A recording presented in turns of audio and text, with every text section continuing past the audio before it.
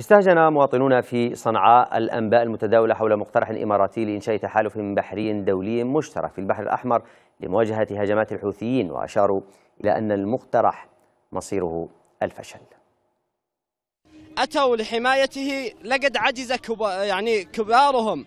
الامريكي والبريطاني والإسرائيلي سفنهم اليوم ممنوع محظور عليها أنها تصل أو تمر عبر البحر الأحمر وعبر المحيط الهندي تضرب وتقصف ليس فقط السفن. نقول لدول الخليج احموا أنفسكم اولا ثم أتوا لحماية البحر الأحمر وحماية العدو الكيان الغاصب الصهيوني من ضربات البأس اليماني الذي تنكل بهم في البحر الأحمر. دولة الإمارات بنفسها ونقول لها مباشرة من لم يستطع أن يحمي نفسه لن يستطيع أن يحمي غيره مهما كان ومهما كان الثمن. أما لعملها التي تقول أنها ستقوم بحماية البحار تريد من ذلك أن تمنعنا وأن توقفنا من الاستمرار في موقفنا الثابت والمبدئي لنصرة إخواننا في فلسطين.